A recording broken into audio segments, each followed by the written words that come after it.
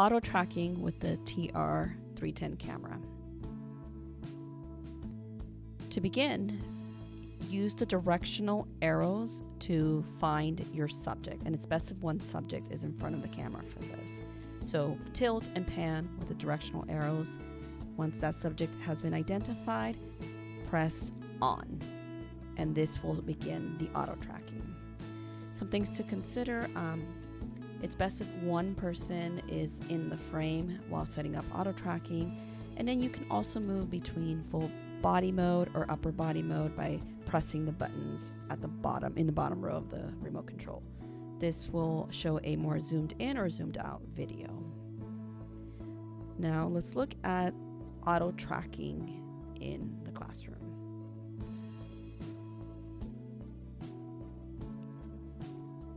First, I'm going to use my directional arrows to either tilt up or down or zoom in and out. Actually, zoom is right below. You'll see the zoom, fast and zoom buttons right below. But I'm going to pan.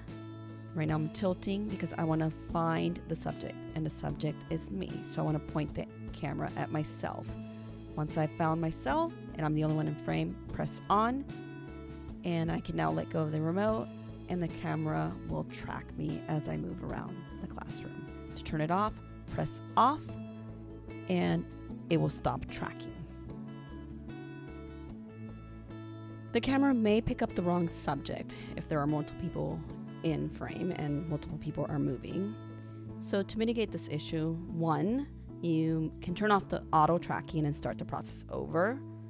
Two, the intended subject that should be tracked moves to a preset location, turns off auto tracking, and then presses the corresponding preset number to aim the camera to that location, that preset location.